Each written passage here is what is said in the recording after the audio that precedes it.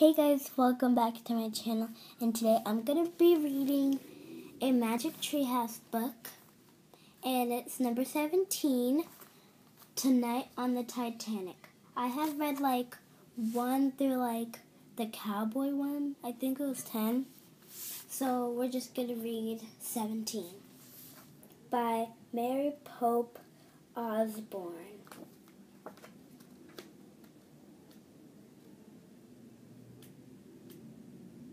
Contents Prologue, new mission, the unsinkable ship, SOS, put your put on your life belts, William and Lucy, woman and children first, the gift, every man for himself, time stops, and the touch of magic.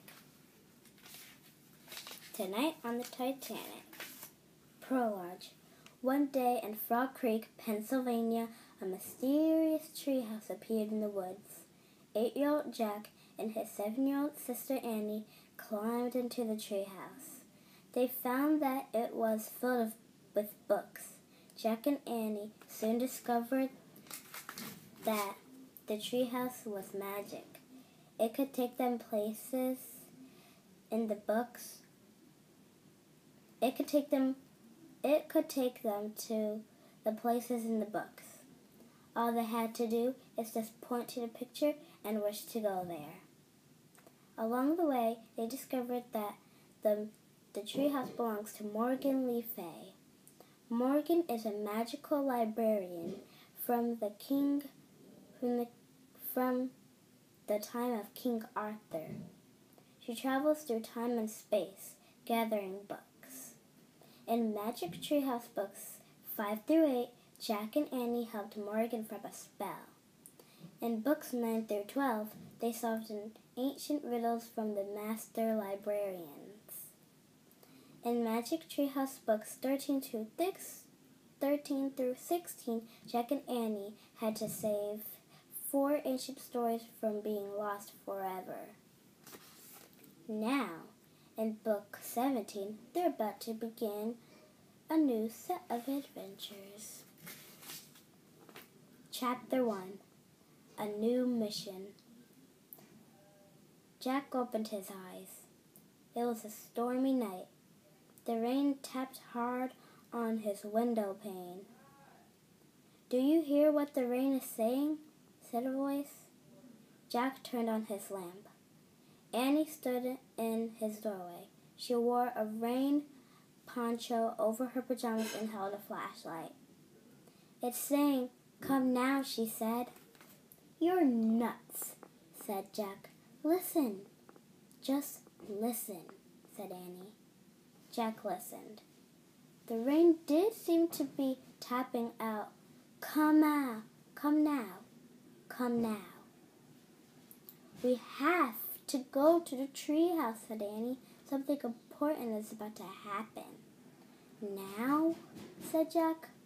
Jack didn't want to leave his warm, cozy room, but he had a feeling Annie was right. Something important was about to happen. You're coming, she said.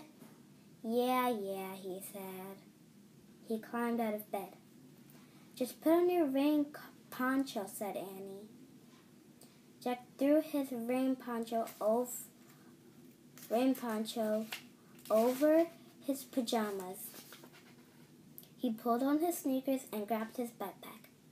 Don't forget your master librarian librarian card, said Annie. I have mine with me.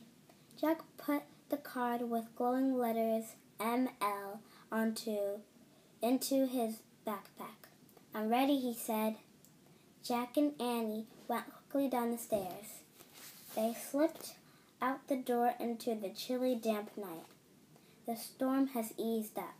Rain fell gently as they ran up the street. The wet ground glistened in the beam of the flashlight. They headed into the Frog Creek woods. Wind blew through the trees, shaking water to the ground. Jack shivered. He wiped the raindrops off his glasses. Here's the picture. Annie's right here, Jack is right there. Their sneakers are the same. Wow.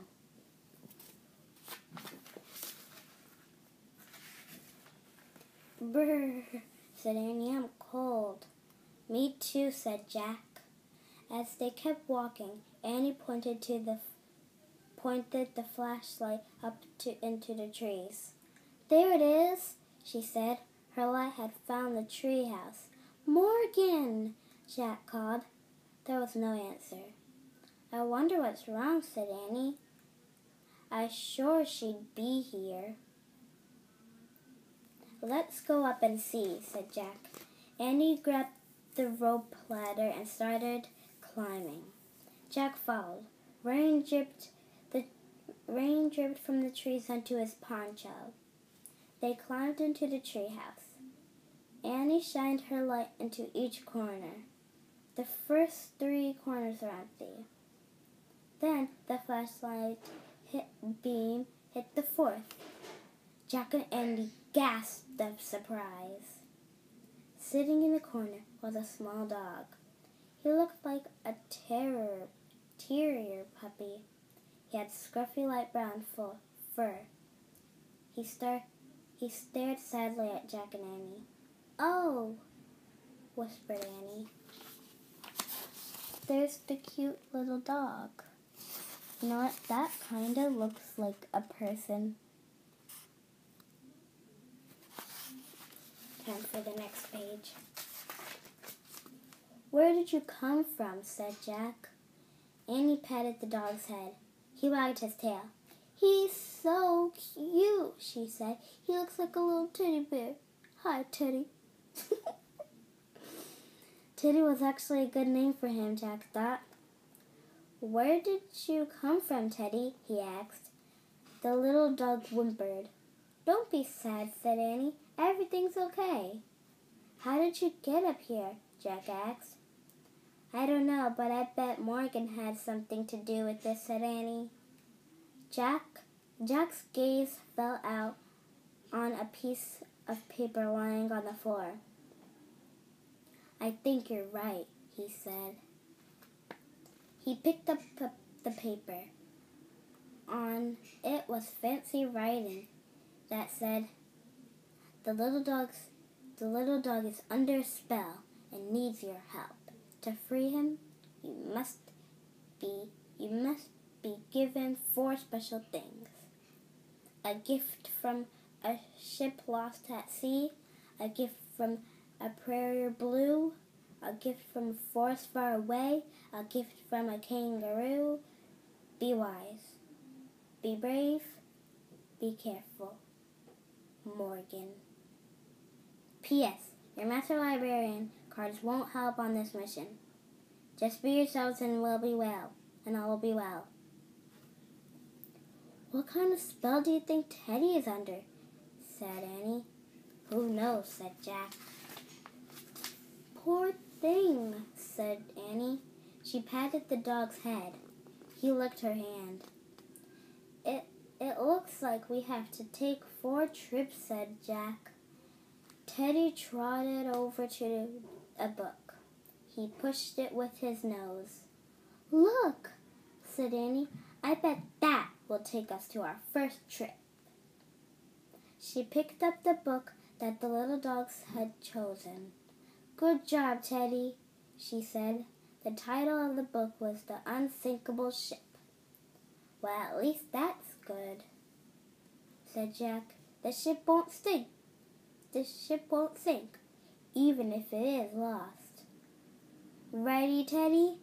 asked Annie. Arf, arf, he answered. Jack pointed to the cover of the book. I wish we could go there, he said.